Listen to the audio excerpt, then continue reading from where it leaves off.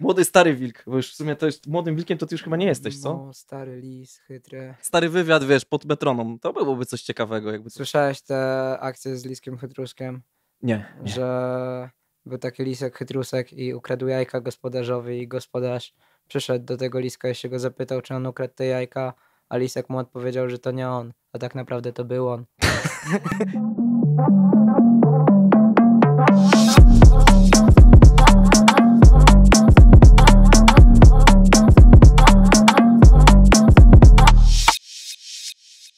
Dobra, 18.40 idealna godzina, żeby zacząć. Chociaż ja myślę, że z tobą mógłbym, fajnie byłoby zaczynać wywiady na przykład 21.37, co ty o tym sądzisz? No tak, ale wiesz co, właściwie to liczby, liczby same za siebie mówią, no. No kurde, stary, proste.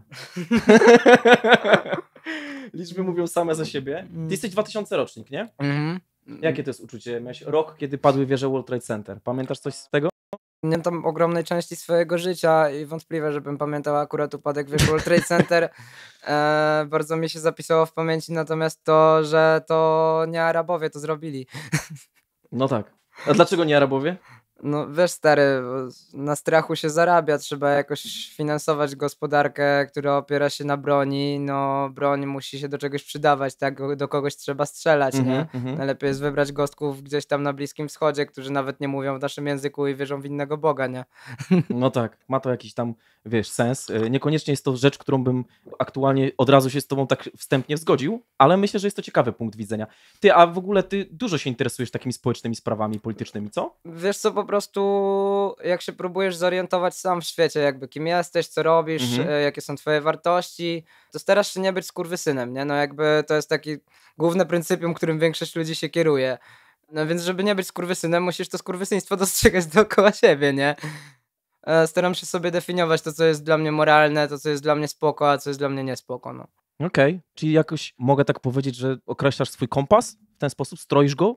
No tak, filozofia w ogóle to jest taka rzecz, która zajmuje się w dużej mierze moralnością, to znaczy dochodzimy do jakichś wniosków, nie jakby powinniśmy iść w jakimś kierunku, dajmy na to ekonomicznie, ale potem jeszcze zastanawiamy się przed, przez chwilę nad tym, czy to jest jakby serio warte tego, nie?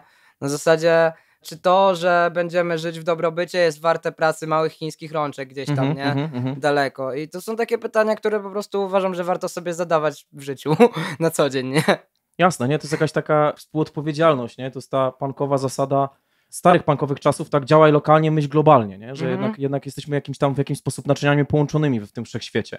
Moje dżinsy, które mam na sobie prawdopodobnie zostały gdzieś uszyte niestety w Bangladeszu bądź w Chinach, w Tajlandii, jakby bezpośrednio moje wybory konsumenckie mają wpływ na życie tych ludzi tam. No właśnie, to no właśnie. ciekawe. Nie zmienisz systemu jako jednostka i wiesz, ja tutaj nie wrzucam jakiejś narracji na zasadzie wyrzucaj śmieci do dobrego kosza, bo inaczej nasza planeta się rozjebie, bo tak naprawdę to wiesz, to jest gospodarka węglowa i to nie ty sterujesz państwem, to nie ty decydujesz na ile węgla pójdzie w rok, nie? No tak. Ale no nasze wybory jakoś w pewnym sensie kształtują choćby rzeczywistość dookoła nas i to jest ważne, nie? To prawda.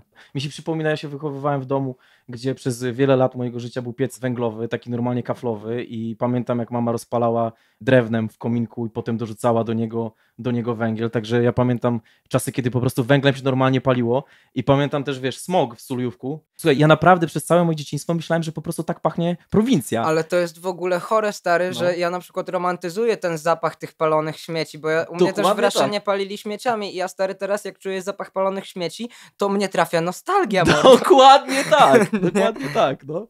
Niesamowite jest, jak pewne rzeczy przesiąkają e, we wczesnym wieku, we wczesnej adolescencji do naszej świadomości i one się często wywierają tak gigantyczny wpływ na nas, że potem dopiero po latach my się orientujemy, ty kurde stary, ale to było dziwne, nie? Że, No. że to było coś kompletnie złego, a ja po prostu, to tak jak reklamy, nie wiem czy też tak masz, ale ja mam czasami tak, że sobie przypominam reklamy, które oglądałem w dzieciństwie, jakiś wiesz, pas do zębów, nie wiem, środków na przeczyszczenie i ja pamiętam te piosenki, jestem w stanie sobie otworzyć w głowie, nie? Że coś tak wryło strasznie w banie, Jak nie? się zastanowić nad tym, to wszystkie kreskówki są robione przez jakichś pokwaszonych gości, którzy doszli do takiego momentu w swoim życiu, że no robią kreskówki, nie?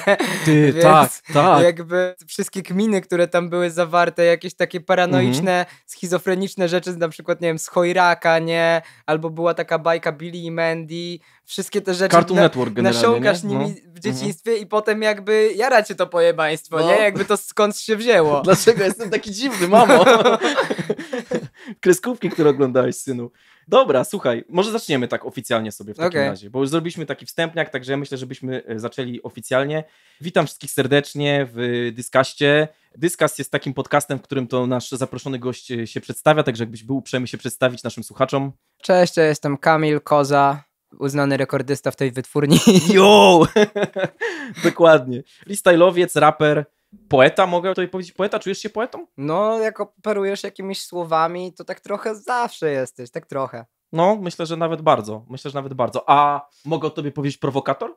No tak, już teraz tak, tak na ćwiercie tatu, już trochę mi się nie chce. Chyba się stałem mało prowokacyjny po prostu z czasem, ale Ale byłeś. no byłem, tak, może Mhm. ex-prowokator, ex-quasi-produkt. Okej, okej. Ex, ex-prowokator, dobra. Tak, tak, tak. E, słuchaj, no, ja bardzo się cieszę w ogóle z tego, że, że znalazłeś czas i ochotę przyjść do nas i, i pogadać. Raz, że widzę już, że cholernie masz dużo do powiedzenia na różne tematy, co jest super sprawą. Dwa, że bardzo chciałem Cię poznać. I Discast jest takim podcastem, w którym generalnie stawiamy na, na takie fajne flow w naszych rozmowach. Na to na ile się oczywiście udaje. Są lepsi, gorsi goście, lepsi, gorsi prowadzą, prowadzący też. Mają lepsze, gorsze Gorsi, gorsi MC. E, dokładnie. Więc bardzo się cieszę, że, że znalazłeś czas. No jakby researchując ciebie mm, i słuchając ciebie już od jakiegoś czasu, no jakby miałem mnóstwo, mnóstwo pytań, niekoniecznie muzycznych, które chciałbym ci zadać. A myślę, że o muzyce to już sobie trochę pogadałeś, posłuchałem trochę twoich wywiadów, więc jakby muzyka to jest temat, który oczywiście będzie cały czas obecny i chciałbym, żeby był obecny w naszej rozmowie, ale myślę, że jest dużo innych fajnych tematów dotyczących twojej twórczości, twojej, ciebie jako osoby, które, które są istotne. Słuchaj, ty jesteś wege? No tak, jestem. Nie jem mięsa od jakiegoś 2017 roku. Historia jest prosta, wszedłem na kwasie do kebaba. I od tego czasu nie wziąłem mięsa do ust ani razu, mordo. Okej, ale Po co, prostu. kebaby wyrosły po prostu jak potwory z Cronenberga, czy... Znaczy, wiesz co, to jest głupie i odklejone tak naprawdę opisywanie nawet tego. Wszedłem, usłyszałem krzyki umierających zwierząt, jak spojrzałem na ten rożen. Wyszedłem, pomyślałem sobie, nie muszę jeść tego mięsa, w sensie jakby przeżyję bez niego, nie? Bałem się, że któregoś dnia to do mnie wróci, Mhm, nie? Że mhm. jakby nie lubię wygłuszać rzeczy w swojej świadomości, o których i tak będę wiedział, że się dzieją, nie? Rozumiem. Mhm. To jest takie uciekanie od jakichś konsekwencji, e, czy od własnych uczuć i przemyśleń. To dla mnie nie ma sensu, więc po prostu od tego czasu nie jem mięsa. Nikomu bym nie wyjaśniał w merytoryczny sposób, że nie powinien jeść mięsa, no bo ewolucja mordo, no jakby tak działa. Mhm. Są ludzie, którzy to tłumaczą powodami ekonomicznymi, etycznymi i tak dalej. Ja nie chcę się w to zagłębiać, bo tak naprawdę nie mam intencji przekonywać nikogo, że to jest jakieś lepsze. Rozumiem, rozumiem. Ale to poczekaj, to było tak, że w tobie wcześniej narastała jakaś taka myśl o, o tym, jakby, No że, tak, że to było stary. w tobie? Mhm. No wyobraź sobie, przypomnij sobie choćby pierwszy raz jak zapaliłeś bucha, nie? Mhm, jak sobie mhm. uświadomiłeś, że w sumie to trawa oddycha, nie? Że cały ten świat dookoła ciebie jest jakiś taki bardziej żywy niż ci się wydawało, że jest, Mhm. nie? E, No to z czasem zaczynasz dostrzegać w, w tej trawie, ale też w żywych istotach przede wszystkim innych Mhm. jakiś rodzaj świadomości, nie? Okej. Czegoś takiego, czego po prostu nie chciałbyś zabić. Mhm. Mhm. Mhm. Więc e, no ja mam takie podejście, że jakbym miał zjeść mięso, no to już jakby powinienem chyba samemu zabić to zwierzę, które jem, nie? No tak, są tacy tradycjonaliści, co tak jakby tłumaczą też jedzenie mięsa przez to, że gdzieś tam na wsi, prawda, rolnik sam zabija krowę, więc to jest inny rodzaj mięsa, no bo jakby zachodzi jakaś taka intymność pomiędzy nim a zwierzęciem, w której on, prawda, no faktycznie podrzyna mu gardło, ale nie jest to przemysł, gdzie tam, No wiesz, te krowy są zażynane I masowo. ta przemoc, stary, Mhm. w, w ludach pierwotnych, e, wśród ludów pierwotnych, e, ta przemoc jakoś, wiesz, eskalowała. Były te ceremonie religijne polegające na ofiarowaniu, polegające na oczyszczaniu się i tak dalej. Właśnie z tego, że to ty własnymi rękami zabijałeś te zwierzęta. Mhm. I jak wpierdalasz sobie hamburgerka z McDonalda, no to nie myślisz o tym za bardzo, nie? Jak miała na nie imię ta musisz krowa. się z no. niczego Mhm. oczyszczać poza no tą chemią, którą tam pchają do tego. No tak. Czyli jednak kwas spowodował, że to, co w tobie było, tak, jakby jakieś takie narastające, mogę Myślę, tak że- powiedzieć, przekonanie? Myślę, że po prostu stan, w którym jesteś na psychodeliku, to Mhm. jest stan jakiejś większej wrażliwości i większego wyczulenia na rzeczywistość i że w tym stanie trafiają do ciebie te przemyślenia, które już gdzieś tam z tyłu głowy miałeś, ale jeszcze nie wykiełkowały, nie? Jakby jeszcze nie przerodziły się w rzeczywistość i w jakieś działanie, więc no to był taki po prostu moment. Bo wiem z wcześniejszych wywiadów, że to jest też jakaś twoja metoda twórcza.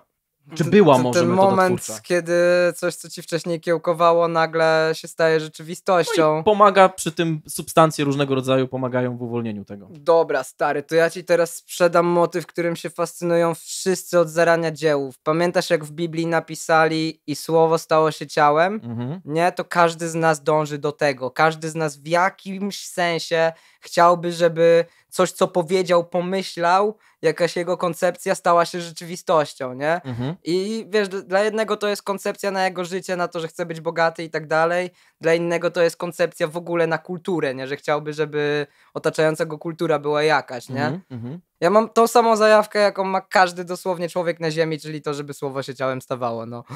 Okej, to jest bardzo. No kurczę, to jest ciekawa odpowiedź, powiem ci szczerze. Nie spodziewałem się, że polecimy tak głęboko, ale faktycznie wspomnienie Ewangeliana tutaj jakby myślę, że jest dosyć odświeżające, biorąc pod uwagę jakość różnych rozmów, które przenikają naszą sferę, wiesz, medialną. Ale powiedz mi, a ty czytałeś Biblię? Ty jesteś zaznajomiony ze z Pismem Świętym? Nie jestem jakoś e, tak, że wiesz, jak mnie będziesz pytał na wyrywki, to ci odpowiem. Mhm, Lubię list do Koryntian, bo się zaczyna słowami i wszystkich cierpliwie znoście.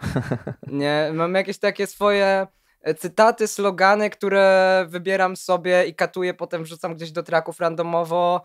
Dlatego, że mam wrażenie, że one jakoś wykraczają poza ten koncept religii, że to jest jakby, że, że na moment w tej książce powiedzieli prawdę, nie? Że Mhm. jakby to jest serio to, co Jezusowi, dajmy na to, chodziło, nie? Tak. Że Jezus to też nie był ten gostek, który ci mówi rób tak, a nie inaczej, bo pójdziesz do piekła, tylko to był bardziej gostek, który podchodził do ciebie i mówił ci kochaj ludzi, to będziesz święty, Mhm. nie? I o tym nikt nie wspomina w kościele, stary. Myślę, że marketing kościelny jest też tak skonstruowany, że raczej pomija się te kwestie. No szczególnie, że jakby w Polsce jest narracja taka jest, tak? Jakby ten sojusz mm, ołtarza i tronu tak, królewskiego no, jest no dość tak. mocny, więc tam jakby jedni uwypuklają drugich i jakby gdzieś tam, gdzieś tam się to trzyma. No właśnie, a wkurza cię to? Jak ty na to patrzysz? Nie mam problemów z dominującą religią w tym kraju, bo wiem, że jakaś dominująca religia zawsze będzie w tym kraju. Mhm. Inaczej. Historycznie jesteśmy takim przedmurzem chrześcijaństwa, że jakby, wiesz, dalej jest już tylko Rosja, jacyś barbarzyńcy totalni i tak dalej. My jeszcze jesteśmy krajem chrześcijańskim, który broni kultury, nie? Mhm, I mhm, Polak, żeby mieć wrażenie, że jest człowiekiem kultury, mhm. musi wierzyć w Boga, nie? Więc jak dla mnie może być nawet ten, jak Jezus naprawdę jest spoko, jeżeli większa część ludzi będzie się otwierać na świat i przy tym jednocześnie zachowywać myśl Jezusa, żeby kochać ludzi, jest, dla mnie to jest zajebiste, nie? Mhm. Nie podoba mi się oczywiście, wiesz, no to, że bogaci ludzie se sterują religią, no ale to też to jest rzecz systemowa, której nie zmienisz i ona nie jest zależna od akurat tej jednej specyficznej religii, no. No tak. A powiedz mi, bo masz utwór, który nazywa się Allah. Mhm. I tam jest dużo różnego rodzaju kontrowersyjnych treści związanych, które zahaczają o tematykę religijną. Mhm. I, I moje pytanie jest takie, czy ty chciałeś w tym utworze konkretnym, ty chciałeś tak naprawdę zwrócić uwagę nam, słuchaczom, na pewne aspekty związane z religią, e, z religijnością, z podejściem do wiary, bezrefleksyjnym rozumieniem wiary, czy ty po prostu tam postanowiłeś sprowokować, spiąć wszystkich w jednym takim trakiem, który po prostu uderzy w bardzo kontrowersyjne rzeczy, no bo na przykład czepiając się słowa, Mhm. nie? Słowo Allah, no Mhm. to jest święte słowo w, w, Mhm. w islamie i jakby też to jest słowo, które bardzo rzadko występuje w naszej przestrzeni publicznej. Tak, bardzo jest, w Polsce w ogóle, jest nie? bardzo takie przesiąknięte Mhm. uprzedzeniem po prostu. Tak, tak, tak, zdecydowanie. To jest tak, ja szukam w kulturze, w ogóle jakby w swojej twórczości rzeczy, które są w jakimś sensie radykalne, intensywne. Nie zawsze to robię, czasami się ściluję, ale jara mnie ta radykalność i intensywność, rozbuchanie formy, doprowadzenie jej do absurdu, e, wszystkie te rzeczy, które jakkolwiek wykraczają poza klasyczną definicję robienia piosenki, nie? Mhm, Jakby to, to mhm, jest mhm. super dla mnie. No i zauważyłem, że to podjaranie, które ja mam, kiedy zrobię coś ekstremalnego, jest podobne do religijnej ekstazy, którą przeżywają ludzie na przykład, nie wiem, na mszy, że masz wrażenie, że jest coś więcej, z czym ty teraz masz kontakt i z czym możesz, dajmy na to, dialogować, co jeszcze w dodatku może się zapisać w formie tego utworu, nie? Ja po prostu dostrzegam ekstremizm w kulturze, dostrzegam ekstremizm w religii i staram się pokazać to. Jakby to, to, to nie jest e, dla mnie wewnętrzna potrzeba rozpierdolenia, zrobienia jak największego węgera i tak dalej. Tylko No to się dzieje przy okazji. tak? robię krok do tyłu, patrzę na to, co zrobiłem i myślę sobie, kurwa, stary, to jest pojebane, to jest strasznie ekstremalne, to jest Mhm. agresywne, nie? Jakby dlaczego to takie jest? No więc dlatego, że po pierwsze mnie to jara, po drugie ludzi to jara, nie? religia, ekstremizm religijny na zasadzie jakby musimy zabijać innowierców, bo oni przyjdą i zabiją nas. To jest coś takiego, co daje ci kopa po prostu, nie? To jest pierwotne, to jest kurwa jakbyś wyszedł z jaskini dopiero co z maczugą, ale to są prawdziwe uczucia, które są w tobie i dzięki którym możemy się jakoś porozumieć. Tylko kwestia tego, żeby używać tego do porozumienia, a nie do tego, żeby tworzyć kolejne konflikty. No to jest coś, czego się nauczyłem z czasem. Okej, okay, okej, okay, okay, dzięki. Myślę, że wyczerpałeś temat, jeżeli chodzi o, o ten utwór, ale chciałem cię jeszcze zapytać, też w kontekście tego utworu i też w kontekście jakby mnogości twoich porównań, twoich odniesień, e, jakby tej całej zabawy słowem, którą stosujesz.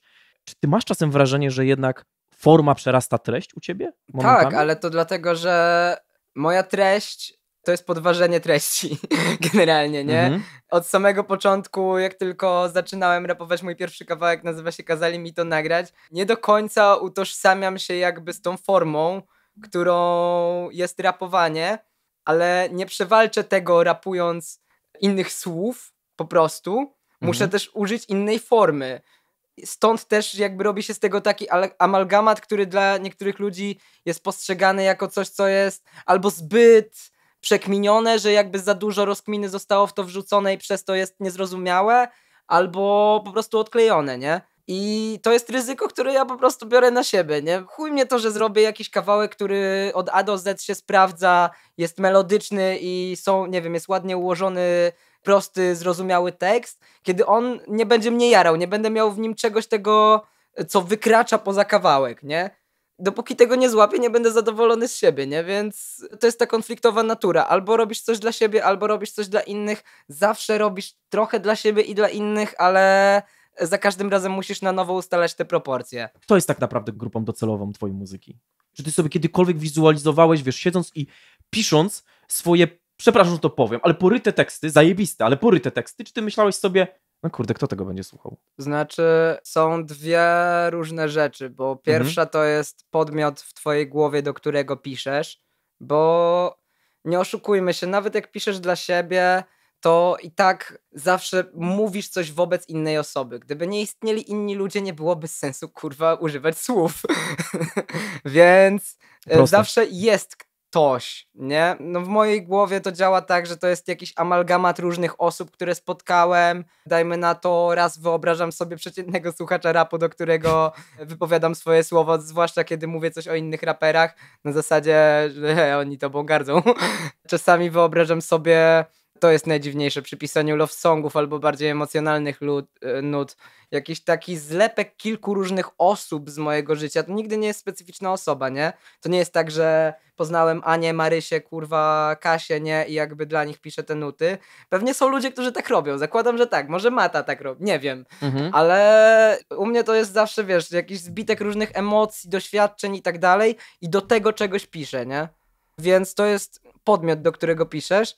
No i jest też grupa słuchaczy faktycznych ludzi, którzy serio jakby słuchają tego główna. Mm -hmm. W moim wypadku ja już zrobiłem za dużo różnej muzyki, żeby móc to zdefiniować jakoś jednolicie. Kiedyś to był, byli po prostu ludzie słuchający alternatywnego trapu, nie? To było łatwiejsze, bo to była jedna grupa. Teraz mam ludzi, którzy słuchają alternatywnego trapu, mam ludzi, którzy słuchają po prostu jazzu i zajawkowego hip-hopu, mam ludzi, którzy są poryci kwasami albo mefem i słuchają tego tylko dla darcia mordy i jakichś rozkmin o wypruwaniu sobie flaków. Mam jakichś nauczycieli na zasadzie, wiesz, filozofia, sztuka i tak dalej. Bardzo często mi się zdarza, że do mnie pisze jakaś nauczycielka muzyki i mi mówi, że wow, ale super, o tutaj super harmonia, nie?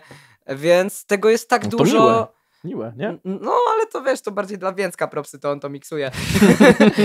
ale jest tego tak dużo, że mhm. nie da się tego jednolicie określić. Tak naprawdę... ty, masz, ty masz oddane grono fanów, tak, tak, z tego co słyszałem. Tak, tak, tak. To akurat jest prawda, że to jest lore po prostu. To jest głębokie lore. Są ludzie, którzy znają wszystkie nasze kawałki i to jest, wiesz, jak 200 traków nagrywanych gdzieś w jakichś kurwa shopach z jakością tostera, nie?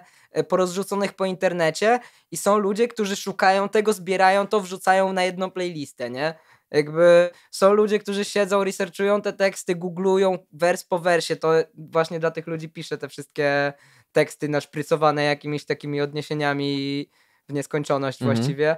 Więc tak, są tacy ludzie, nie? Jest ich mało, to nie jest jakaś bardzo szeroka grupa, ale no mega zajawa, że komuś się chce to robić, że ktoś w to na tyle głęboko wjeżdża i że kogoś to na tyle głęboko dotyka w ogóle, żeby włożył effort w choćby zgooglowanie sobie wersu jednego, no. Myślę, że wiesz, że wierność fanów ich oddanie jest chyba istotniejsze tak naprawdę, tak jak sobie myślę, nie? że to chyba jest fajniejsza rzecz ostatecznie dla artysty niż ich ilość. No wiadomo, że ilość przekłada się na inne cyfry, które też są istotne w życiu, ale jednak, y, wiesz, no kurczę, fajnie, że ludzie wkręcają się w twój świat i w, i w twoją perspektywę, nie? że oni jakby łapią to, czym ty chcesz opowiadać do tego stopnia, że oni naprawdę wchodzą tam razem z tobą do tych, wiesz, tych komnat, tych podziemi, nie? Tak, to jest mega zajawa. Jedyne, co mógłbym powiedzieć jakby o fanach, co mi nie pasuje, mhm. to to, że teraz no, mamy kapitalistyczną rzeczywistość, fani generują pieniądze, a pieniądze generują po części to, co robisz. W sensie, no jakby pieniądze są punktem odniesienia. Jak tak. robisz coś, zarobiłeś dużo pieniędzy za jakąś rzecz, którą zrobiłeś, to najprawdopodobniej będziesz chciał ją powtórzyć albo zrobić coś podobnego i już strzelasz sobie w stopę. No tak. nie, bo jakby tak nie działa nawet publika. Publika łapie randomowe rzeczy, które po prostu zaskoczą albo nie. To zależy od pory dnia i nocy, algorytmu, nastrojów społecznych, miliona innych rzeczy. Nie jesteś w stanie tego wyliczyć, nikt nie jest, dlatego wytwórnie produkują sobie, wiesz, masowo te kawałki, mają po prostu studio wyrobnicze nie chciałbym się dostosowywać do tego nigdy, a zauważyłem, że jeżeli twoi fani zaczynają nabierać pretensji wobec tego, co robisz, to potem już ciężko jest się z tego wycofać, nie? Mhm. Bo już jakby wszedłeś w tę grę. No tak, no tak, no tak. Gra o tron już trwa, nie? Jakby no. można, nie, w grze o tron nie ma ziemi niczyjej, wygrywa się albo przegrywa, jak to no powiedziała dokładnie. Cersei Lannister. Ale to jest ciekawa relacja między tobą jako artystą, który już zdobył grono fanów, uznanie i w jakiś sposób, wiesz, zostać nazwany, zostać określony, kontrowersyjny raper, wiesz. Mnóstwo jakichś po prostu e, na twój temat można znaleźć różnych wypowiedzi i tak się zastanawiam, że to jest taka rzecz, która może powodować właśnie duże napięcie między tobą a twoją grupą odbiorców. To, o czym ty teraz powiedziałeś, że oni mają jakieś wyobrażenie na twój temat, a ty wcale niekoniecznie musisz mieć takie wyobrażenie na... Cały czas, całe życie mhm. jebane, stare, tylko uciekanie od tej jednej łatki, którą ci ktoś akurat przypiął, nie? I to jest od podstawowy właściwie, jak cię nazwali w podstawowie, nie wiem, inteligentnym dzieckiem, które tylko jest leniwe, co zrobili każdemu, nie... Absolutnie, absolutnie. Absolutnie każdy Zdolny, ale słyszał. No jeszcze jak, jeżeli było jakkolwiek potwierdzenie w rzeczywistości na to, że tak faktycznie jest i w to uwierzyłeś jako dzieciak, to od tego momentu cały czas cię gonią łateczki i jakieś szufladki, jakieś pomysły na ciebie, na to, co ty masz robić, jaki masz być i tak dalej, które przyjmujesz, no bo to są powszechnie panujące koncepcje, nie? Jakby jak chcesz wymyślić coś oryginalnego, no to niestety musisz wykroczyć poza powszechnie panujące koncepcje, nie? No tak. No i wtedy się zaczyna backlash na zasadzie, że czemu ty taki nie jesteś? Dlaczego nie jesteś taki, jak przewidywałem? Dlaczego nie trzymasz tego samego stylu od czterech albumów, nie? Dlaczego jesteś w innym nastroju, jak się budzisz rano następnego dnia? Mm -hmm, no mordo. Ale myślisz, myślisz, że twoja twórczość w dalszym ciągu to będzie takie robienie wolty za każdym razem? Tak, bo się nudzę strasznie szybko. Mhm. I mam takie poczucie, że jak już pogrinduję jedną rzecz wystarczająco długo, typu, wiesz, no, wciągam się, gram w Skyrima dwa tygodnie, a potem zapominam, że kiedykolwiek w niego grałem. To jest mniej więcej coś takiego, nie? Więc tak samo jest z muzyką. Jakby mam zajawę jednego dnia, nawet przez dwa tygodnie właśnie bangla mi tylko funk, tylko jakieś tego typu rzeczy. Potem wstaję rano, myślę sobie, kurwa, po chuj w ogóle robić taką muzykę, powinienem lecieć w akordy, melodyjność i tak dalej. Jest za dużo rzeczy do robienia, żeby się zafiksować na jednej. Mhm. A to mi, się, to mi się kojarzy strasznie to, co mówisz teraz z modus operandi Taylora the Creatora, którego na pewno kojarzysz i znasz. On jest dla mnie taką postacią w rapie, w ogóle w rap grze, która generalnie postanowiła zrobić coś zupełnie inaczej niż wszyscy. Nie? I jakby zupełnie rozwalił system, e, szczególnie Igorem, myślę, który był po prostu płytą, która społecznie w ogóle, wiesz, treściowo jakby przełamywała bardzo wiele schematów myślowych, które były obecne. No i dostał za to grami, nie? Zupełnie zasłużone swoją drogą. To jest dla mnie szokujące, nie z tego względu, że jakoś nie rozumiem tej muzyki, a bardziej, że to jak Tyler miksuje swoje albumy od tak. Cherry Bomb, czy nawet jeszcze wcześniej, no właściwie od pierwszych albumów, mhm. które były całe na przesterze i ludzie to nazywali horrorcorem, jak miał 17 lat, nie? On robi takie rzeczy, które cię tną po uszach momentami, nie? Robi takie rzeczy, które są dziwne, strasznie wykwaszone, które są dla ludzi, którzy słuchają alternatywnej muzyki, bo potrzebują jakichś nowych dźwięków, a nie dla mainstreamu, nie? I on na tym zarabia kapuchę, wykręca wyświetlenia i ma rozpoznawalność jak mainstreamowy artysta, nie? Który tworzy rzeczy od linijki, ma ośmiu, wiesz, pod sobą producentów wykonawczych, którzy jeszcze mu to pucują, nie? Mhm, mhm, Jakby mhm. Kanye West wydaje sobie album, on się nie musi jakby, wiesz, upewniać, czy to siądzie ludziom, bo tam jest 18 gości, którzy siedzą i się upewniają, że to siądzie ludziom, on tylko wymyśla kreatywne pomysły. Tyler siedzi w studiu i robi całą tę pracę. To jest chore, stary. Dokładnie, stary, to jest odlot totalny, nie? To jest piękne, jak patrzysz, że mix, master, wokale, wiesz, Tyler the Creator, nie? Po prostu... Gość po prostu no, przyjeżdża sobie do swojego domu, włącza sobie komputerek, gra na klawiszach, śpiewa i to jest top jeden na billboardzie, mordo. Dokładnie tak. No on znalazł ten sposób. To jest bez wątpienia wybitny artysta naszych czasów. Przypomina mi się jedno, jedna jego wypowiedź i chcę o to ciebie zapytać. Tyler, e, będąc headlinerem, nie chce teraz strzelić głupoty, albo to jest, to chyba była Coachella, w zeszłym roku albo w tym roku, nie pamiętam, przepraszam, ale jest nagranie na YouTubie, gdzie on zaczynając w trakcie koncertu właśnie mówi o tym, że ludzie, patrzcie, zaczynam, jestem headlinerem na festiwalu, miliony ludzi, a jeszcze 10 lat temu mówili mi, że to, co robisz, jest zbyt niszowe. Nikt nie będzie chciał słuchać takiej muzyki, którą robisz. I pytanie do ciebie, Koza, czy tobie też tak mówią? Albo mówili, że stary, weź, może zacznij, wiesz, na autotunach rapować, jakieś fajne rzeczy, zrozumiałe dla ludzi. Ty się tam drzesz do tego mikrofonu, średnio rozumie człowiek, co ty tam chcesz powiedzieć, nie? Trzeba się wsłuchiwać. Miałeś takie, roz... takie E, głosy? co? Ludzie zazwyczaj nie są na tyle odważni, żeby ci powiedzieć coś takiego w twarz, jak już zdobyłeś jakąś rozpoznawalność Mhm. i jednak już coś tam tej muzyce zrobiłeś, bo to już jest tak jakby przypierdalanie się do twojej skończonej koncepcji zamiast niby próby rozwinięcia czegoś, co jeszcze nie dojrzało. Mhm. No ale tak, słyszałem jakieś takie rzeczy od czasu do czasu, tak naprawdę bardzo rzadko i zazwyczaj bardziej jako punkt wyjścia w rozmowie, nie? Mhm. Niż faktyczna uwaga.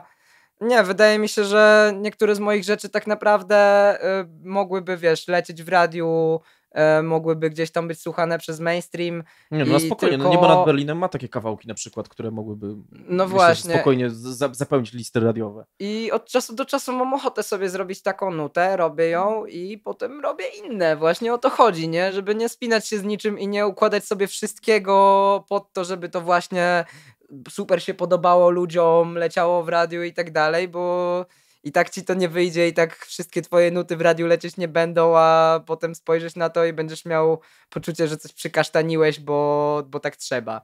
Albo coś jest po prostu niezgodne z tobą. No, wiesz, no po prostu staram się za każdym razem jakoś iść według tego pomysłu, który e, mi się narodził w głowie i nie odchodzić dlatego, że ktoś, że, że coś będzie lepiej banglało w radiu, że ktoś mi powie, że o, to jest zbyt skomplikowane. Chuj mnie to. No rozumiem, rozumiem, rozumiem. Nie, to jest jakby słuszna koncepcja, tylko chciałem się upewnić, jak to wyglądało w twojej drodze rozwoju artystycznego. Czy były takie głosy, czy ich nie było. Ale jak nie było, jeżeli to są tylko jakieś tam pojedyncze, no to super, to znaczy, że gusta słuchaczy jakby dojrzewają wraz z e, artystami nowymi, którzy wchodzą na scenę i robią, robią to po swojemu, robią to inaczej niż cała reszta. A czy myślisz, że rap to jest ostateczna forma? Czy nie myślisz czasem o innej muzyce? Czy może usłyszymy ciebie w jakichś innych aranżacjach, w innej koncepcji? To znaczy, wiesz, robię dużo jakiegoś takiego z pogranicza jazzu, z pogranicza muzyki eksperymentalno-noizowej, dużo takiego materiału. To się klei, wyjdzie wcześniej czy później, Mhm. nie, nie mam z tym spiny tak naprawdę. No w sumie już Barto to ogłosił, więc mogę powiedzieć, że będę robił z Bartokatem cały album, który będzie głównie oparty na patentach z techno, jakichś garaży, house'ów, no, no nie z rapu, no.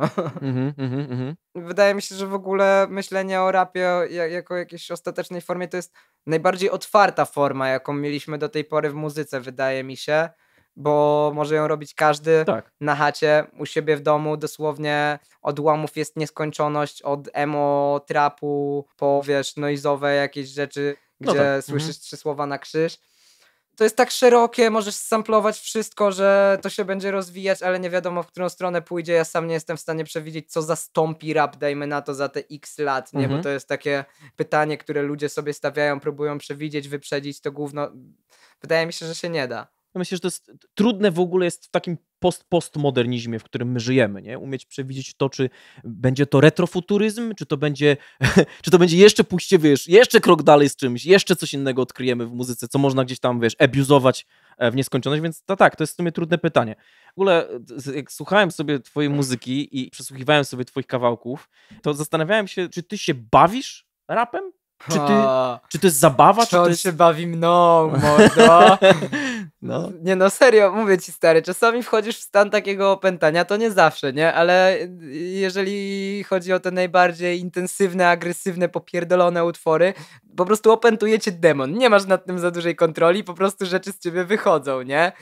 No to jest bardziej jakby ten rap się bawił tobą, serio, bo nie możesz odejść, przestać pisać na Mhm. przykład, albo przestać rapować, jak już jesteś wkręcony, jak już cię ten demon, demon przejął. Musisz skończyć to gówno, musisz je dociągnąć do końca, nie? I przez większość czasu bawię się rapem. Wstaję rano, jaram sobie gipka, zaczynam układać słowa na różne sposoby, no. nie? A miałeś kiedyś tak, że y, wiesz, nagrałeś track albo napisałeś tekst i wróciłeś do niego po jakimś czasie i się po prostu łapałeś za głowę, co ja w ogóle zrobiłem, co to w ogóle jest, że sam, że twoja sztuka cię wyprzedziła. Miałeś taki moment? Nie, że wyprzedziła na zasadzie, że e, odsłuchałem coś i sobie pomyślałem, Boże, zrobiłem coś dojrzalszego niż ja sam. Mógłbym zrobić coś takiego tylko mając 35 lat. Mhm. Ale no stary, wiesz jak to jest, jak tworzysz pod wpływem, że nie do końca pamiętasz rzeczy. Moja pamięć jest bardzo dziurawa. Jest naprawdę bardzo dziurawa. Wstaję rano, nie pamiętam, że nagrałem jakiś kawałek, odpalam go, nie pamiętam w ogóle w jaki sposób powstawał procesu nagrywania go czasami, ale Tym bardziej, drodzy słuchacze, musimy docenić to, że kozy, kozie udało się dotrzeć na, na nasz wywiad na czas. Dokładnie. To jakby winszujemy, dziękujemy bardzo za, za, za to, że się udało to zapamiętać. A nie miałeś tak, że czasami czytałeś swój tekst, który napisałeś, czy tam nagrałeś i potem na przykład on ci się wydawał totalnie, wiesz, odjechany, wiesz, taki po To prostu... znaczy tak, często zwłaszcza jak czytasz sobie na zimno swój tekst, jak przypadkiem odpalisz go sobie albo musisz przewinąć bez bitu, bo coś ci tam nie siedzi i zaczynają do ciebie trafiać jakby twoje własne słowa, w sensie ich głęboka abstrakcja. Potem to jeszcze bardziej jest wyraźne przy słuchaniu samego siebie, jak słyszysz coś, co nagrałeś, co jest teoretycznie wewnętrznym monologiem, którego nie pamiętasz i nie masz nawet pojęcia jakby, że kiedykolwiek go miałeś, nie? w tym momencie jakby abstrakcja wznosi się na strasznie wysoki poziom. Mhm. Jak słyszysz swój własny głos w głowie, który mówi ci słowa, które są dla ciebie zbyt pojebane i to jeszcze jest głos z przeszłości, to już się stało. No ro- rozumiesz, jakby próbuję to nakreślić jakoś w Mhm. logiczny sposób. Mhm, mhm. Więc tak, są takie momenty. w drodze artystycznej, nie, to jest, każdy chwyt jest tak naprawdę dozwolony, który jakby, nie wiem, czy się z tym zgadzasz, że to jest trochę tak, że, że ludzie używają multum różnego rodzaju środków wyrazu i pomocy do tego, żeby pewne treści wyrazić i przekazać siebie. Ty akurat znalazłeś taki sposób, ale ja się wiesz czego boję, bo słucham sobie twojej muzyki, powtarzam to już chyba trzeci czy czwarty raz w tym wywiadzie, jakbym chciał upewnić siebie i ciebie, że faktycznie słucham twojej muzyki, ale naprawdę, posłuchałem. I zastanawia mnie jedna rzecz. Czy ty jesteś tak cholernie wkurwiony? Czy ty jesteś tak cholernie wrażliwy? Jakby nie zrozum mnie źle, tylko połączenie bycia cholernie wrażliwym, a wydajesz mi się wrażliwym człowiekiem i w sumie wkurwionym też momentami, to jest bardzo, wiesz, wybuchowa mieszanka. Rozumiem o co ci chodzi. Chodzi o te momenty takiej paradoksalności, kiedy dosłownie w jednym wersie nawijam o tym, że rozpierdoliłbym ciebie i całą twoją rodzinę, a w następnym wersie nawijam o tym, że jestem śmieciem i zawsze nim będę. No, no, no, no. tak. E, No to wracamy tutaj do tej rozkminy z radykalnością, która bezpośrednio wiąże się z religijnością. Jacy ludzie mogą doznać nawrócenia? Ludzie, Mhm. którzy są w jakimś skrajnym stanie, na, na przykład e, w stanie jakiegoś upadku, nie? w stanie degradacji, w stanie grzechu. No właśnie, jest ta przypowieść z tymi owieczkami i tak dalej. I ja się trochę znajduję, będąc na traku, znajduję się w takim punkcie, nie? Staram się dojść do jak największego rozchwiania emocjonalnego, żeby to, co mówię, miało jak największy impact, a do tego musisz się zgubić. Musisz się poczuć niepewnie w pewnym momencie na temat swoich własnych uczuć, nie? A czy ty szukasz jakiegoś, jakiejś transcendencji w muzyce przez to, co to teraz opisujesz? Czy ty szukasz Boga? kiedy wchodzisz w ten stan? Yeah, man. Dokładnie tak. W sensie mam takie poczucie, że całe swoje życie, prawie wszystko co robię jest dla transcendencji, nie? A wszystko pozostałe, no nie wiem, może dla siana. Okej, okej, I dobra. właśnie zestawienie choćby tych Mhm. dwóch jakby sposobów patrzenia, że z jednej strony powinieneś być niewrażliwym skurwysynem, który wszystkich dookoła siebie dojeżdża do spodu i zarabia jak najwięcej kurwa pitachy jak najmniejszym wysiłkiem, bo to jest jedyna rzecz, która opłaca się tak naprawdę robić w późnym kapitalizmie. a z drugiej strony chcesz wyjebać całe to życie, cały ten świat. Najlepiej siedziałbyś sobie w lesie i przez większość czasu medytował albo czytał jakieś książki, czy nie wiem, pakował w siebie kulturę, bo po prostu to cię jara, nie? I to jest stan mojej głowy. Okay. I teraz jedziesz dwoma torami, które prowadzą w inną stronę. Jak chcesz to połączyć? Jakoś musisz, nie? Ja szukam. Ja nie mówię, że mam odpowiedź na to. Mhm, mhm. Możliwe, że właśnie jestem zbyt rozchwiany emocjonalnie i gdybym nie szukał tej intensywności, gdybym zamiast tego usiadł i chwilę pozastanawiał się, rozpisał to sobie wszystko na chłodno, e, może te rzeczy byłyby bardziej ze sobą spójne.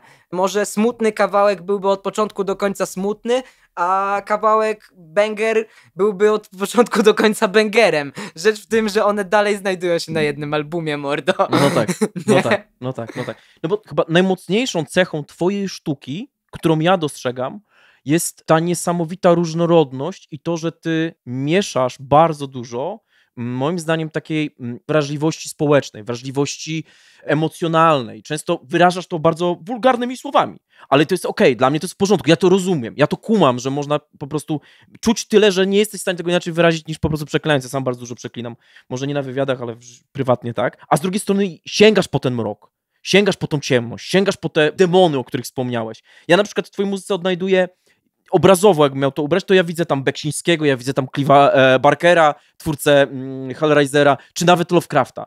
Dla mnie wyje to wręcz z tej muzyki, nie? Taka najbardziej poryta ciemność, z której ty jednocześnie stajesz wobec niej jako takie wrażliwy człowiek, który niesie trochę na swoich barkach obciążenie, które włożyło na, na ciebie społeczeństwo, w którym żyjesz i świat, który sobie sami stworzyliśmy. Dokładnie. nieznośnie ciężki do niesienia. Dokładnie, bardzo ładnie to nazwałeś. W sensie ogólnie jakby ta metafora krzyża też jest strasznie oklepana. Jezu, jakie tutaj kółeczko religijne no, się robi. tak, ale, złapiemy się za ręce, zaśpiewamy ale kumbaya. No. faktycznie no jest coś takiego, że rodzisz się, jesteś w jakimś mhm. świecie, urodziłeś się jakiś, ale to ludzie dookoła ciebie definiują to, co zrobisz z tym, jaki jesteś, nie?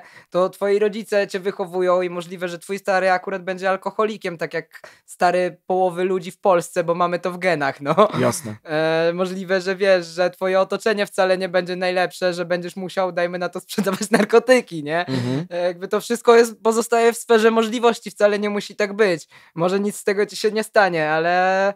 No, chodzi po prostu o to, że rzeczy dookoła ciebie cię kształtują i nie masz na to wpływu i musisz coś z tym zrobić, więc paradoks.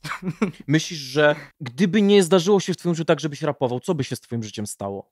Właśnie kilka razy zadawałem sobie to pytanie i raz doszedłem do wniosku, że może byłbym politykiem, ale obawiam się, że to w ogóle byłaby zupełnie inna ścieżka życiowa. Musiałbym mm. też nigdy nie wziąć narkotyków na przykład. Nie pomagają narkotyki na I przede wszystkim pojechać tym torem polegającym na byciu skurwysynem i zarabianiu grubej ilości siana, nie? Mm -hmm. To wtedy tak. Albo i to jest takie coś, czego żaden raper ci nie powie. Albo byłbym nikim. Wow. Pracowałbym po prostu w jakiejś zwykłej pracy, wracał do swojego zwykłego mieszkania, bo przecież teraz to wszystko jest takie niezwykłe i jakieś specjalne, nie?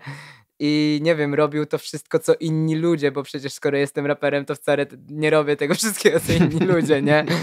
Wiesz o co chodzi. Jakby bycie raperem to nie jest wyróżniona pozycja. To nie jest coś takiego, że twoje życie jest jakieś specjalne, lepsze, bardziej usiane emocjami niż jak jesteś prezesem korporacji. Pewnie nawet jak jesteś prezesem korporacji przeżywasz więcej stresu. No tak. No tak. Ty się stresujesz tylko o swój rap, oni się stresują o wiele innych y, rzeczy, kiedy są prezesami, na przykład o bycie prezesem albo o... No właśnie. znaczy, czym się zajmuje prezes w ogóle? To jest no. takie pytanie. To mi się przypomina sketch Mana i Materny, że taki bardzo stary sketch, jak on przychodził i przeprowadzał Materna wywiad z Manem. Man grał prezesa, tak, a on grał... Tak, tak, to ja jestem kabarety. dyrektorem i z zawodu jestem dyrektorem. Czy tam z wykształcenia jestem dyrektorem. No, to, Man, to są takie początki klasyk. kapitalizmu po prostu y, dobrze, dobrze opisane. Zresztą nie wiem, czy kojarzysz sketch ze sklepem, jak przychodzi i logo ma projektować dla prezesa sklepu? Cholera, chyba nie do końca to pamiętam. Pamiętam tylko, że ej, kochanie, wyjdźmy stąd, bo jest straszny tłok i tam po prostu taki wielki tłok nie na środku sklepu. tak, oni, oni dużo takich absurdalnych wrzutek mieli, ale faktycznie bardzo ciekawie, że początek lat 90. oni tak punktowali zajebiście naszą rzeczywistość, którą my mamy tutaj, nie? W tym, co powiedzieć, późny kapitalizm, tak? Czyli to wszystko, co, co teraz jest takie napompowane i takie przesadne i takie w ogóle nastawione na, tylko i wyłącznie na zysk z pominięciem jakiejkolwiek etyki, jakiegokolwiek w ogóle zauważenia człowieka, nie? To w znaczy, tym masz tam procesie. tą etykę niby w tym procesie, nie? Ale Mhm. ona jest taka, no, no powierzchowna na zasadzie ten czas sobie wpierdolimy do logo, no i tyle.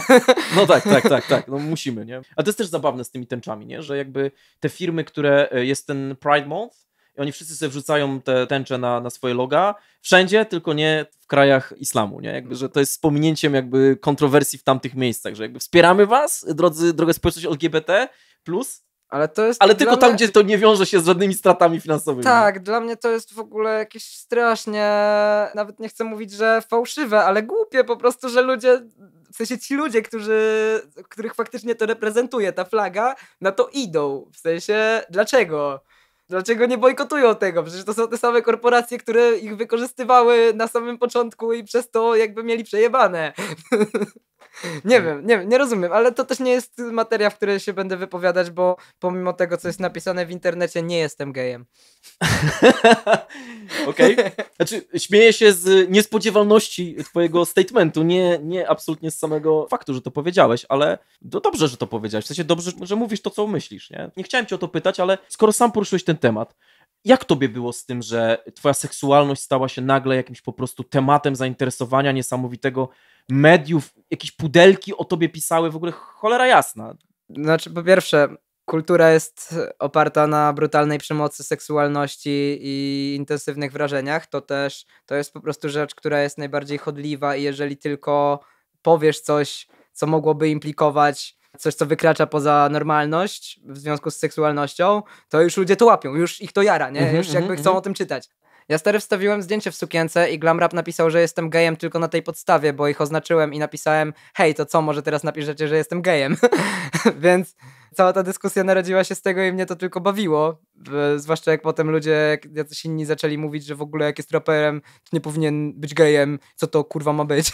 No to twardogłowie jest zawsze, nie? W tej branży to jest norma. E, szczerze jest mi trochę głupio, że w ogóle ciągnąłem te prowokacje, w sensie, że jakby nie zacząłem jej dementować od razu, ale z drugiej strony po co masz dementować coś, co jest czyjąś misinterpretacją od samego początku i to się odbija rykoszetem na mnie, stary, bo ja jakoś nie mam ogromnej potrzeby dotarcia do tych wszystkich ludzi, do których docierają artykuły o mnie, jakieś kontrowersyjne treści i tak dalej i powiedzenia im, hej, wcale taki nie jestem, jakby, kurwa, jestem tak samo normalnym gościem jak ty, możemy wypić razem piwo, możemy pogadać, jakby o co ci chodzi, nie? Nie wiem, jak kogoś spotkam na imprezie, on mi powie, że słyszał o mnie coś głupiego, wychodzę z taką propozycją, nie ewentualnie jakby samo to wynika, ale Mhm, mhm. nie będziesz jeździł do Pcimia Dolnego i robił seminarium z tego, że wcale nie jestem taki. Możesz walczyć jakby z mediami, możesz produkować swoją antypropagandę, możesz robić wszystko, ale tak naprawdę wszystko to jest chuja warte, bo dominująca narracja to są zawsze proste, chwytliwe artykuły. Tytuły artykułów, mhm. No nawet tak. nie artykuły. Y, ludzie często nie czytają samych artykułów, co jest udowodnione w ogóle badaniami, No tylko tak. czytają nagłówek i na podstawie nagłówka y, stwarzają swoją wizję wszechświata i środkowo najczęściej... Masz opinię? Zajebiście, dzięki, nara. Tak, no dokładnie, dokładnie tak. A powiedz mi, mm, czy uważasz, że bycie niekonsekwentnym w sztuce jest niezbędne, żeby robić dobrą sztukę? Czy można robić konsekwentną sztukę, która jest dobra? to są jacyś tytani człowieku, jacyś ludzie, którzy mają tak daleko idącą przekminę, żeby być konsekwentnym, mieć od samego początku ustaloną wizję czegoś większego od ciebie. Właśnie Mhm. to jest to, o czym wspominałem wcześniej.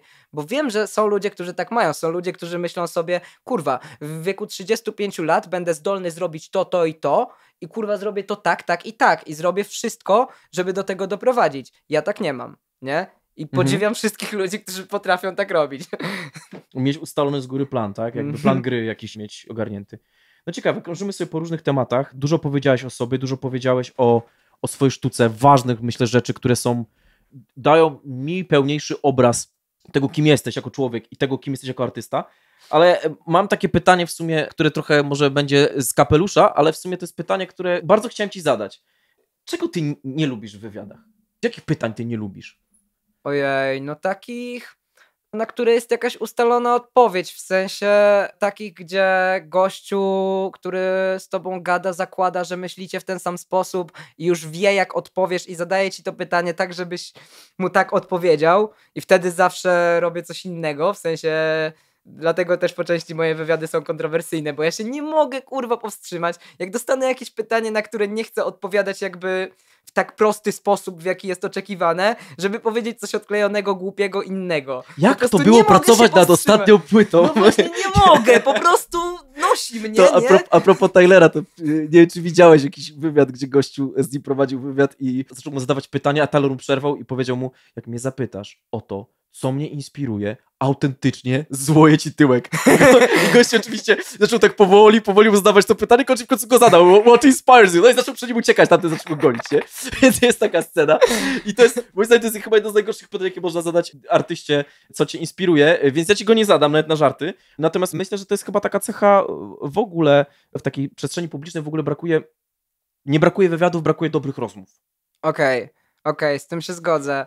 Podoba mi się to, że teraz weszliśmy na poziom rozmowy o rozmowie, bo wydaje mi się, że powinno być więcej tego. W sensie powinno się więcej rozmawiać o dyskursach, o narracjach, o samym sposobie przedstawiania sobie rzeczywistości, bo sposób przedstawiania rzeczywistości, który ci dają media, przyjmujesz bezkrytycznie. No, swajpujesz, widzisz coś, jakby tak jest, nie?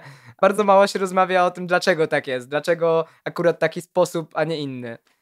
Więc, więc, więc chuj props. Mm. Wiesz, bo nasza rzeczywistość stała się tak nieznośnie clickbaitowa, że my jesteśmy super skomunikowani jako społeczeństwo, ale wciąż nie umiemy się ze sobą dogadać, nie umiemy ze sobą rozmawiać, boimy się ze sobą rozmawiać. Jakby jesteśmy, szczególnie w dużym mieście, nie w Warszawie.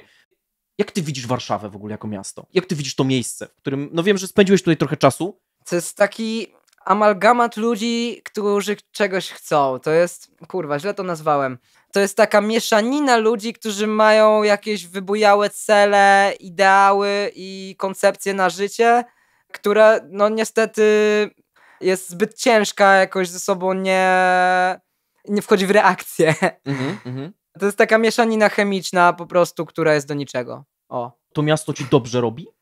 Tak, ale to dlatego, że ja strasznie lubię mieszaniny chemiczne, które są do niczego, nie? Dobra, bo to już e, weszło na zbyt wysoki poziom abstrakcji w nazywaniu, więc może to jakoś uproszczę. Lubię to miasto, bo dostarcza ci wrażeń, kiedy tylko masz ochotę, żeby one zostały dostarczone, ale jakość tych wrażeń i przypadkowość ich często sprawiają, że wracam z niego poryty i nie czuję się w nim jak w domu. O. Mhm. To nie jest miejsce, w którym chciałbym zostać do końca życia, ale to jest na pewno miejsce, które mnie w jakiś sposób stymuluje.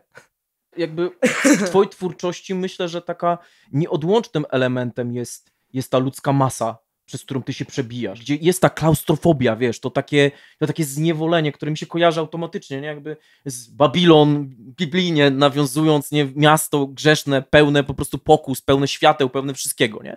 Jakby Więc... to jest takie, wybijaś to z twojej twórczości, też dlatego cię o to pytam. To jest tak, że ludzie, którzy mieszkają w mieście, oczywiście ci powiedzą, że oni by chcieli na wieś, ci, którzy mieszkają na wsi, ci powiedzą, że by chcieli do miasta. Ja mieszkam pod miastem, w spokojnym miejscu, gdzie obok jest las, ale jednak ta intensywność właśnie, choćby to, że same interakcje z ludźmi wytwarzają w tobie coś, czego nie miałbyś bez tego, sprawia, że jednak no ja muszę tutaj być. Mhm. A powiedz mi, bo miasto, tak, przestrzeń duża, miejska, aglomeracja, miasto, masa, maszyna, tak, i ty w tym wszystkim ze swoim, swoją wrażliwością, swoim gniewem swoją porytą muzą, którą docierasz do ludzi i oni korespondują z tobą w tej muzyce, a gdzie szukasz spokoju i ukojenia? Jest takie miejsce, gdzie wyciszasz się, gdzie wiesz, gdzie... Nie chcę oczywiście za bardzo wchodzić w twoją intymność, nie? Tylko, wiem, tylko wiem. czy jakby... W sensie po prostu odpowiedź na twoje pytanie będzie kurewsko mroczna, bo największy komfort mi daje poczucie, że umrzemy wszyscy i że śmierć jest nieunikniona, wszyscy do niej należymy od samego początku, nie da się nigdy nie umrzeć. Nawet gdybyś wynalazł lek na nieśmiertelność, to dalej jakby przed tym jak żyłeś, to nie żyłeś. Więc e, tak, ten niebyt, to, że istnieje coś takiego jak śmierć, mi daje naprawdę mega poczucie komfortu w życiu i takiego e, luzu, że mogę robić wszystko, bo ważność wszystkich rzeczy, które zrobię, zostanie sprowadzona do jednego poziomu na sam koniec, nie? Oczywiście są ludzie, którzy mają takie, wiesz, pomnik trwalszy od spiżu i tak dalej, zostawię coś po sobie, spoko, nie? No i tak ludzie zapomną to po 3000 lat, nie wiem, czy jakby to ci coś daje, że będą cię pamiętać 100, 200, 300 lat po, że jakby to poczucie może daje jakiś komfort, ale dla mnie ono nie jest ważne. Mogliby mnie zapomnieć od razu po śmierci, no bo jakby co mnie to będzie obchodzić. Mhm. A to, a na przykład kwestia też znowu nie chcę wchodzić za bardzo w twoją intymność, ale jakby naturalnie mi narzuca się takie pytanie, a kwestia, nie wiem, na przykład wiesz, niektórzy uważają, że zostawiają swoją spuściznę i swój, wznoszą ten pomnik poprzez posiadanie dzieci, na przykład posiadanie potomstwa, myślisz, że nie jest takim elementem rzeczywistości, który jakby gdzieś tam nas antropologicznego punktu widzenia, wiesz, budował nas, był tym pędem, do którego my żeśmy się rozwijali, budowali to wszystko. No dobra, mój antynatalizm jest jak mój wegetarianizm, musiałem to powiedzieć. To jest tak, że y, nikomu w życiu bym nie narzucił takiej koncepcji, żeby nie robił sobie dzieci. Ja samemu nie chciałbym ich mieć, bo uważam, że nie jest to moralne z mojej strony, żeby powoływać na świat jakiegoś człowieka, którego nie byłbym w stanie poprowadzić za rękę, pokazać mu, jak faktycznie działa życie, bo ja nie wiem tego, jak faktycznie działa życie.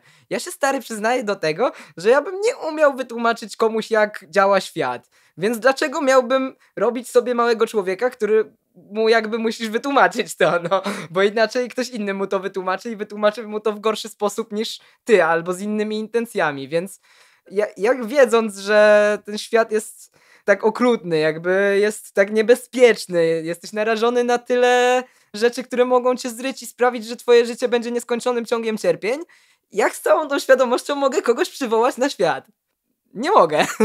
Okay, nie wkręcałbym okay. te, tego nikomu innemu. Jeżeli czujesz się na tyle odpowiedzialny, żeby to zrobić, to to zrób, nie? Jakby zajebiście. Ten typ mes zrobił sobie dziecko, pomimo że ja bym tego nie zrobił, to super jaram się tym, że ma dziecko, nie? Mm -hmm, I, mm i proste. Okej, okej, okej.